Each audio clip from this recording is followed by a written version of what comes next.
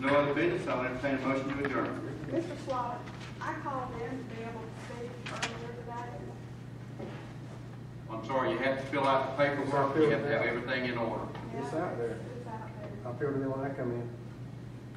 Did you deliver it to the clerk? I didn't do the same thing, I just left on the pedestal. It won't take but two minutes. Ma'am, I'm sorry, unless I've got the paperwork and it's been delivered to the clerk and it's in in a timely manner, I can't allow it. Okay, so I called and I was told I could call in ahead of time because of the travel that I had to do to get here.